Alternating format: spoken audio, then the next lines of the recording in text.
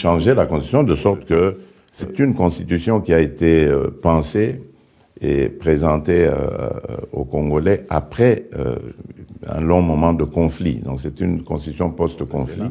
Donc je crois que il y a un problème avec notre constitution. Il faudrait faire des réformes pour qu'on ne perde plus beaucoup, autant de temps à, à, constituer un gouvernement. Les élections ont eu lieu fin décembre. Euh, mon investiture a eu lieu le 20 janvier. Donc normalement, dans la foulée, on aurait dû euh, commencer le travail. Mais on a perdu euh, des mois à, tout cela.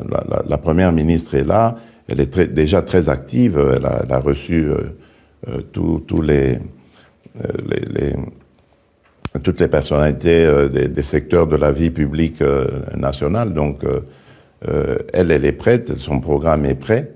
Euh, mais nous attendons que tout se mette en place parce que son gouvernement ne sera validé que par l'Assemblée nationale. Changer la Constitution de sorte que, euh, bon, déjà d'abord, euh, ce système à la, de la proportionnelle, pour un pays comme le Congo, je, je, trouve, au niveau national, je trouve que c'est pas très efficace. Et comme au Congo, en ce moment-là, ben, il n'y avait pas, je vais, le, je vais le dire très clairement, de dirigeants capables de pouvoir dénoncer cela. Évidemment, le Rwanda en a profité dû au fait qu'il y a eu un silence complice dans notre pays, dans le chef même de ceux qui dirigeaient ce pays-là.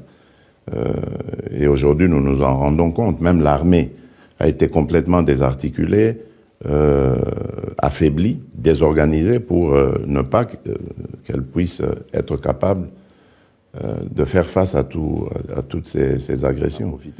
Mais regardez, depuis 2022 où l'agression a commencé et que nous nous avons euh, dénoncé immédiatement cette, agression, vous voyez que le narratif a changé.